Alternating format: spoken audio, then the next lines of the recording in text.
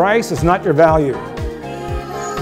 How you meet someone's motivational buying factor, that emotional need, that's your value.